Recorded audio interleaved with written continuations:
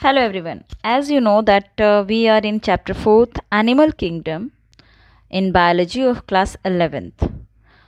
And uh, we read about uh, basis of classification diff- uh, what is classification we make the definition of classification and in the topic basis of classification हमने ये learn किया था कि जो basis है classification के animal kingdom की uh, उसमें जो इंक्लूड किया गया है they are the level of organisation इसके अंदर हमने लेवल ऑफ़ ऑर्गेनाइजेशन में पढ़ा था। Cellular base tissue base organ base and organ system type okay इसी के अंदर हमने पढ़ा था on the base of circulatory system and digestive system two type के ऑर्गेनिज्म डाइजेस्टिव सिस्टम जिसका कंप्लीट हो माउथ एंड एनएस हो they are complete digestive system but जिसमें माउथ और एनएस का काम एक ही होल कर रही हो they are incomplete they all organism have incomplete digestive system. And open circulatory system and closed circulatory system भी हमने पढ़ा था.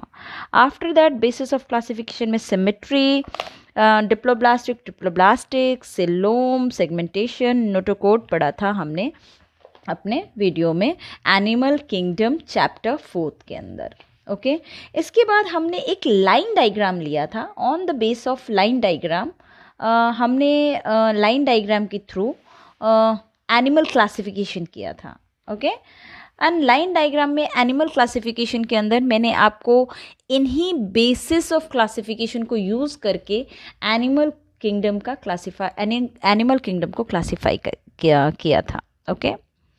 तो animal kingdom is classify on the base of this basic terms level of organisation segmentation symmetry in base पे हमने किया था और different different phylums we learn about but now we are in the classification of organism classification of animal kingdom के अंदर sorry classification of animal kingdom में we are going to classify different phylum and first phylum हमने लिया था पिछले अपने video में Porifera और पॉरीफेरा के कैरेक्टर्स हमने पढ़े थे okay okay? We learn about the uh, character of uh, porifera kingdom level of organization कैसा था उसमें symmetry कैसा है type of animal that uh, that was और uh, उसकी रिप्रोडक्शन उसके अंदर कैसी होती हैं ये किया था आज हम सेकेंड फाइलम ले रहे हैं and the second phylum is coelenterata तो now we are going to talk about coelenterata okay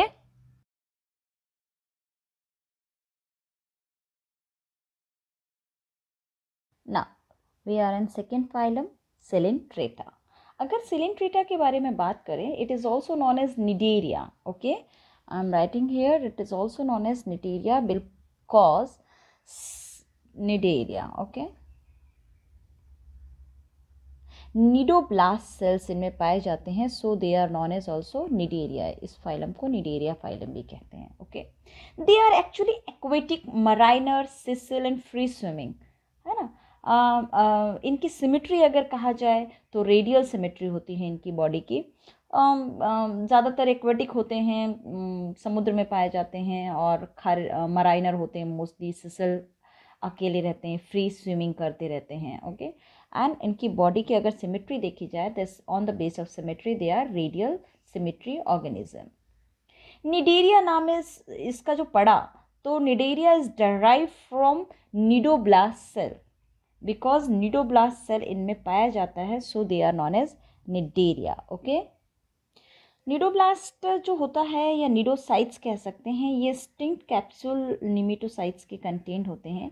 इनका काम होता है they cnidoblast are actually use anchoring defence and capturing the prey शिकार को पकड़ने के लिए, अपने आप को बचाने के लिए, कहीं अपने आप को एंकर करने के लिए काम आते हैं।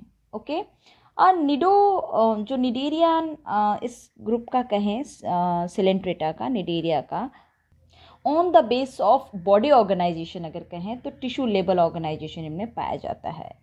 On the base of triploblastic और डिप्लोब्लास्टिक की बात करें तो दे आर डिप्लोब्लास्टिक यानी कि जो एम्ब्रॉयनिक लेयर होती है they contain two layers two skin layers out ectoderm and endoderm okay तो इनमें डिप्लोब्लास्टिक होते हैं दे आर टिश्यू लेवल की ऑर्गेनाइजेशन होती है सिमेट्री रेडियल सिमेट्री होती हैं ये चीज़ें लिख लीजिएगा।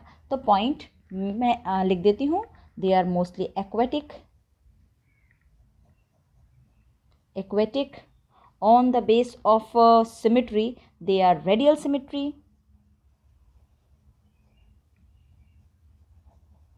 radial symmetry okay? और अगर बात करते हैं हम इनके ऑर्गेनाइजेशन बॉडी ऑर्गेनाइजेशन की level of organisation they are tissue level of organisation they have okay?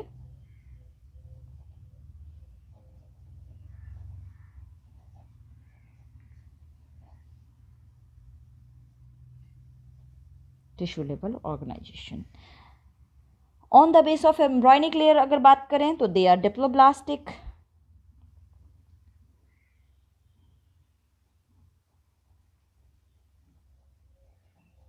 diploblastic okay and uh, i talked uh, later um, that they are why they are called nidaria because nidoblast or nidocyte cells are present in them uh, तो nidoblast और nidocytes present on the tentacles जो इनकी बॉडी के ऊपर tentacles on body दोनों में present होती हैं एंड उनका यूज़ क्या होता है ये ज़्यादा याद रखिएगा द निडोब्लास्ट सेल और cnidocytes use to defence capturing prey and anchoring the body okay okay कुछ सिस्टम की बात करते हैं। जैसे respiratory system excretory system and blood circulatory system all are absent in them okay respiratory system excretory system and blood circulatory system are absent in them but respiration होता है। Then how respiration take place कैसे होगा respiration obviously diffusion method से। Diffusion method से जो respiration होगा, वो इनमें होगा। डिफ्यूज़न बेसिकली मैं आपको बता दूँ टेंथ में आप एक्चुअली पढ़ के आए होंगे, फिर भी बता देती हूँ। डिफ्यूज़न एक मेथड है जिसमें, एक प्रोसेस है जिसमें the gases goes from higher to lower concentration gases pass होती हैं हायर टू लोअर कंसंट्रेशन की तरफ़ ओके तो through the diffusion method the body surface do the process respiration okay? लेकिन रेस्पिरेटरी कोई खास रेस्पिरेशन के लिए ऑर्गन नहीं होता। So respiratory system is absent but respiration होता है through the skin layer okay? और कौन सा method diffusion method okay? Intra cellular extra cellular दोनों तरीके का डाइजेशन पाया जाता है। डाइजेस्टिव सिस्टम नहीं होता but intra extra cellular digestion होता है। अगर इन ऑर्गेनिज्म की बात करें ओके? okay, अगर इन ऑर्गेनिज्म की बात करें तो actually they have to basic body forms होता है। बॉडी के जो दो बेसिक फॉर्म्स होते हैं वो मैं लिख देती हूँ। यहाँ।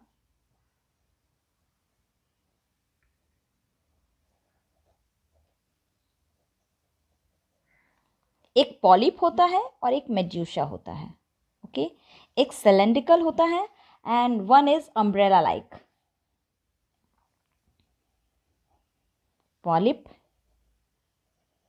दो तरीके की बॉडी की जो शेप होती है उनकी, वो दो तरीके की होती है polyp and medusa okay polyp and medusa अगर हम बात करते हैं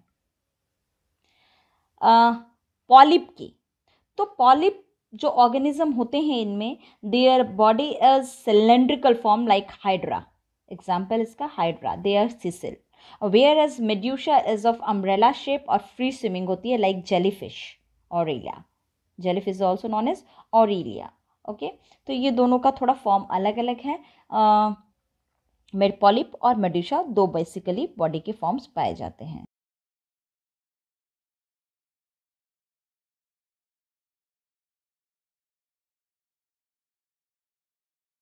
अगर इनके डाइजेशन की बात करते हैं, खाना, खाने की बात करते हैं फ़ूड किस तरीके से लेते हैं तो they have a central gastrovascular cavity which has a single opening इनमें माउथ और एनस नहीं होता इनकम्प्लीट डाइजेस्टिव सिस्टम होता है सिस्टम नहीं डाइजेशन होता है। तो they have a central gastrovascular cavity which a single opening mouth जिसको कहते हैं ऑन अ हाइपोस्टेमास के ऊपर हाइपोस्टेमा पे। तो डाइजेशन एक्स्ट्रा सेलुलर और इंट्रा सेलुलर दोनों टाइप के होते हैं इनमें सेलेंट्रेटा में ओके एक और चीज़ some of the cnidarians example जैसे कॉडल्स बनाते हैं इनमें निडेरियंस तो कॉरल्स हैव अ स्केलेटन होता है जो कैल्शियम कार्बोनेट का बना होता है। तो the skeleton compose of calcium carbonate याद रखिएगा। ओके तो ये कॉरल रीफ भी बनाती हैं। Okay on the base of presence of sex organ they may be unisexual और बाइसेक्सुअल दोनों तरीके के हो सकते हैं। On the base of reproductive system asexual reproduction as well sexual reproduction, both processes found in them okay? दोनों तरीके के पाए जाते हैं। Okay? And polyp and medusa जो बॉडी फॉर्म होती है बोथ हैव मेटाजेनेसिस फॉर्म पाई जाती है इनकी बॉडी की। यानी कि पहले larva stage and after that the body young one complete होते हैं। ओके? okay? एक और ख़ास बात रीजेनरेशन इनमें पाई जाती है। Regeneration is found in them okay? तो ओवरऑल अगर हम जनरल कैरेक्टर की बात करते हैं तो they are multi cellular they are aquatic radial symmetry on the base of symmetry and on the base of level of organization they are tissue level on the base of presence of embryonic layer they are diploblastic the body forms two type structure polyp and medusa polyp is cylindrical whereas medusa is of umbrella shape organ is not found in them they have nidoblast cells found in them so they are also known as nidaria okay तो ये एक याद रखिएगा खास and the systems are absent in them excretory system respiratory system are absent in them okay तो ये था salient प्रेटा next topic हम डिस्कस करते हैं नेक्स्ट फाइलम एनिमल किंगडम के अंदर ctenophora okay what is ctenophora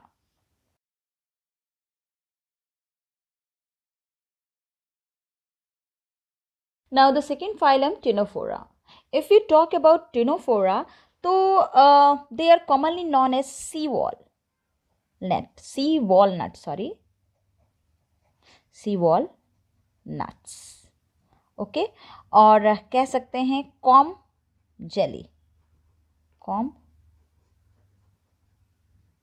jellies commonly this is um okay तो sea walnut और कॉम जेलीज देखिए, इनकी सबसे जो मेन प्रॉपर्टी होती है they are bioluminous bioluminous means emitting light these organism emit light तो इनका सबसे मेन फीचर्स हम पहले बात करते हैं bio luminous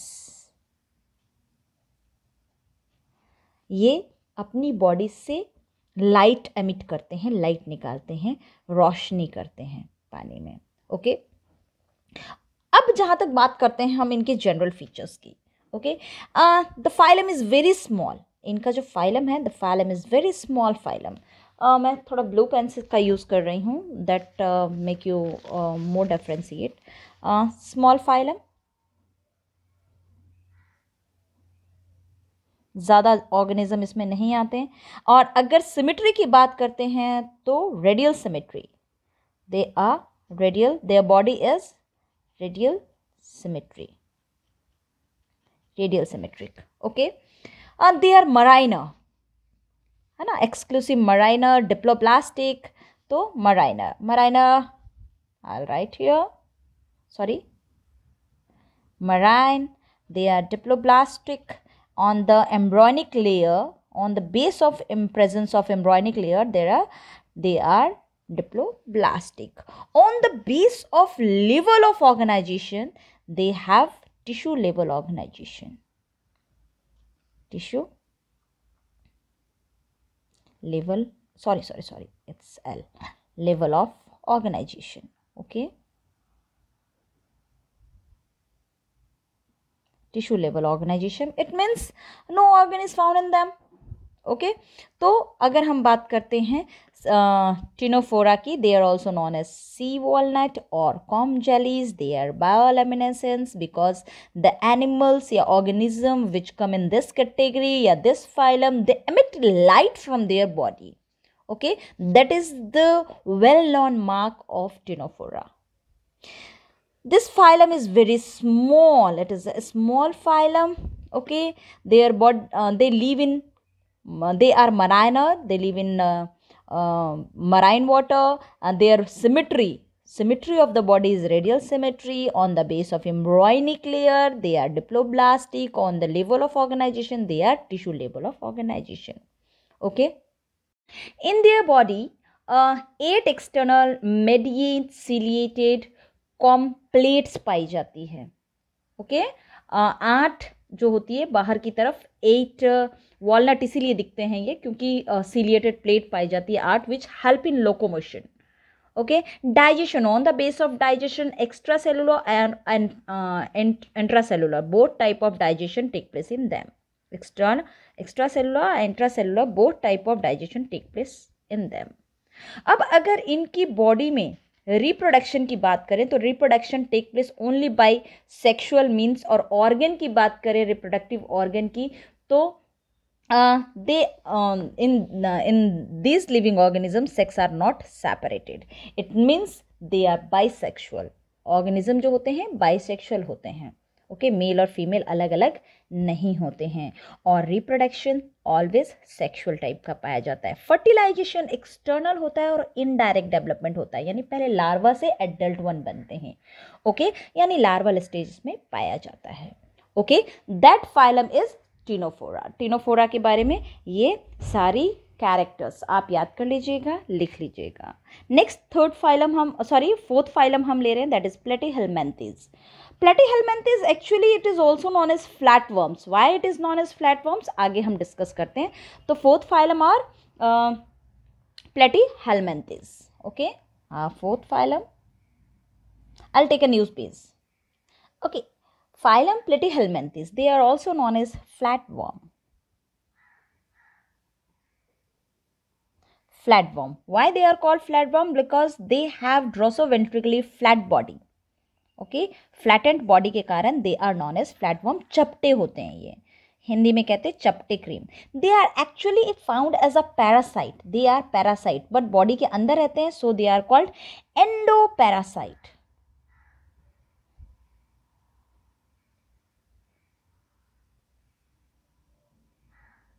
they are endoparasite देखिए, ये चूँकि पैरासाइट है they cause disease they are the cause one of the cause of disease in animals and as well as in human being they are the cause of या causative agent है ये किसके?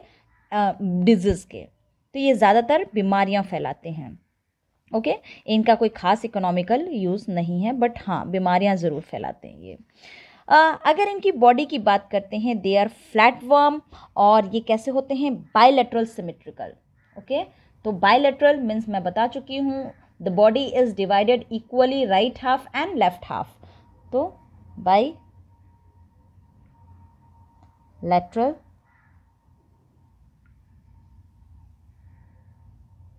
symmetrical on the base of embryonic layer they are triploblastic अब देखिए, यहाँ से triploblastic शुरू हो चुका है, जबकि इसके पहले से हमने क्या पढ़ा था?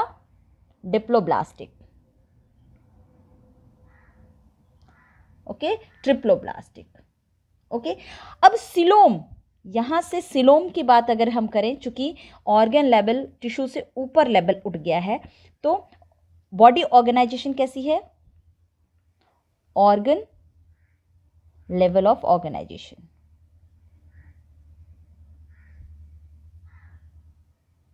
जब ऑर्गन लेवल है तो ऑब्वियसली सिलोम की बेस पे बात करेंगे। तो सिलोम प्रेजेंट है या एबसेंट तो इनमें सिलोम एबसेंट होता है so they are known as acoelomate they are acoelomate organism okay okay देखिए, इनके मुँह पे एक हुक जैसा सब्सटेंस पाया जाता है सकस द हुक और suckers are present in them और दे absorb nutrition with the help of suckers okay? They help the suckers help the uh, help absorb nutrition from the host body directly through the body surface host body के अंदर अपने suckers को डाल देता है ये hook की सहायता से और सकस एब्जॉर्ब करते हैं सारा न्यूट्रिशन होस्ट बॉडी से okay? एक और खास चीज़ flame cells are present in them ये कॉम्पिटेटिव एग्ज़ाम में पूछा जाता है flame cells are present in them what is the function of flame cells they help in excretion osmo regulation में हेल्प करते हैं. तो special cells called flame cells help in osmo regulation and excretion are present in them sex इनमें separate नहीं होता so they are hermaphrodite male और female अलग नहीं होते हैं they are bisexual okay so they are hermaphrodite भी हम इनको कहते हैं। They are hermaphrodite sex are not separate in them fertilization internal होता है और ऑब्वियसली जो डेवलपमेंट होता है वो लार्बा से होता है और कई स्टेजेस में होता है। Okay okay? कुछ इनके मेंबर हैं जैसे प्लेनेरिया वो रीजनरेशन भी शो करते हैं। कुछ प्लेन एरिया जैसे है, वो रीजनरेशन भी शो करते हैं। आपने टेंथ में भी देखा होगा, इस तरीके का एक ऑर्गेनिज्म होता है प्लेन एरिया जिसकी बॉडी को जितने कई बार देखा होगा आपने, आपकी आपके उसमें जितनी बॉडी पार्ट में काट दो, हर एक बॉडी पार्ट वापस रीजनरेट करके न्यू वंस बना लेती हैं। ओके तो ये इसके कुछ कैरेक्टर हैं। वापस कैरेक्टर को एक बार डिस्कस कर लेते हैं।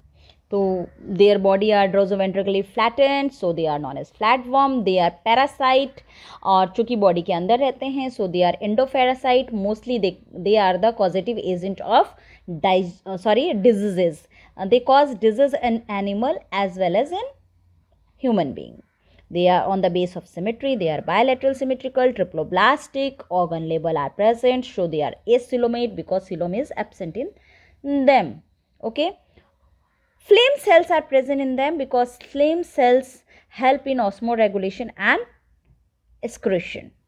अब रेस्पिरेशन की बात करें, जहाँ तक आप बोलेंगे कि भाई ऑर्गेनिज्म है तो रेस्पिरेशन करेगा। तो रेस्पिरेशन एनारोबिक होता है बिकॉज़ ये एंडोपैरासाइट्स हैं। ओके बॉडी के सर्फेस से ही होता है but anaerobic respiration is found in them okay बाकी respiratory system circulatory system endoskeleton system all are absent in them ये प्रेजेंट नहीं होता। ओके हाँ आप एक और चीज़ कर सकते हैं nervous system nervous system is found in them but on that is in the form of ganglion okay that is in the form of ganglion इस तरीके के गुच्छे की तरीके के स्ट्रक्चर में पाए जाते हैं। That is in the form of ganglion के फॉर्म में पाए जाते हैं। Okay and sex are not separate though they are hermaphrodite okay they are by bisexual hermaphrodite और जो डेवलपमेंट होता है वो इनडायरेक्ट डेवलपमेंट होता है through larva and then larva के बाद एडल्ट होते हैं। ओके फर्टिलाइजेशन इंटरनल होता है। तो ये है platyhelminthes they are are the positive agent of disease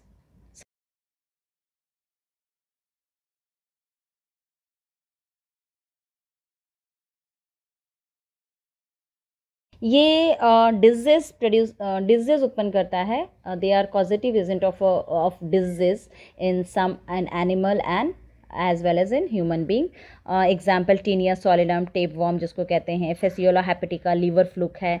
ये कुछ एग्जाम्पल्स हैं इसके जो uh, इस फाइलम के एग्ज़ाम्पल uh, है ऑर्गेनिज्म है इसके अंदर आने वाले। Okay okay? तो आज के लिए इतना ही। आज हमने कैरेक्टर्स पढ़े सिलेंट्रेटा टिनोफोरा एंड प्लेटेहेलमेंथिस का, इन कैरेक्टर्स को अच्छे से याद कर लीजिएगा और लिख लीजिएगा। आज के लिए इतना ही। Thank you